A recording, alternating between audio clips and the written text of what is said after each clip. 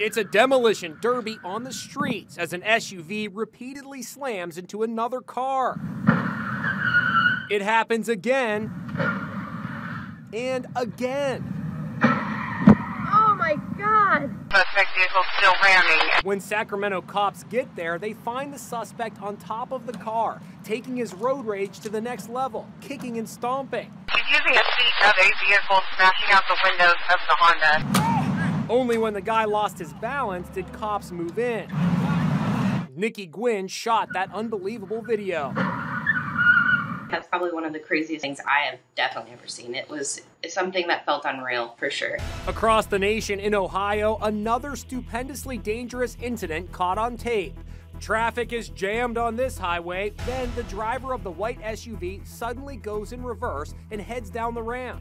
Then he continues on his way, still going backwards.